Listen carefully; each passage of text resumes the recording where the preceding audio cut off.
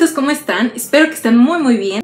Ya extrañaba bastante hacer videos, ya tenía más de un mes que no subía receta. El motivo es que me estaba mudando, me estaba cambiando de casa, ya estoy instalada, ya tengo algunas cosas organizadas y ya puedo hacer de nuevo videos. Les agradezco bastante los comentarios que me han escrito, que me han dejado, de que ya extrañaban mis recetas, de que ya querían que subiera un nuevo video. Y bueno, la receta que les traigo hoy está muy sencilla, muy fácil de preparar es ideal para esas personas que no saben utilizar muy bien la grenetina en polvo o que no la consiguen en donde viven. Vamos a preparar una gelatina mosaico que está muy muy sencilla de preparar. Empezaremos con los ingredientes de esta deliciosa receta. Utilizaremos una gelatina de sabor fresa, mora y limón. Prepararemos cada gelatina con 3 tazas de agua en lugar de 4 como dice el instructivo y las picaremos en cuadritos pequeños.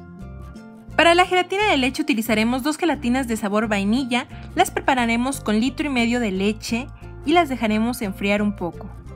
Utilizaremos un molde con capacidad de 3 litros, vamos a poner en una servilleta de papel un poquito de aceite de cocina y vamos a esparcirlo muy bien por las paredes del molde para que no se nos pegue la gelatina.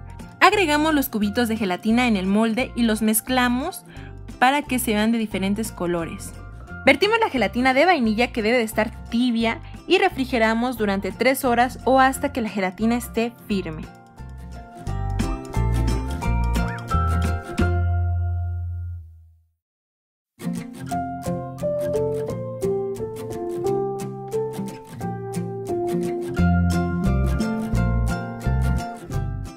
Por este video, espero que te haya servido bastante esta receta, los extrañaba bastante, voy a seguir subiendo recetas en el transcurso de la semana para que estén al pendiente. Te mando un fuerte beso y un gran abrazo y nos vemos en el próximo video.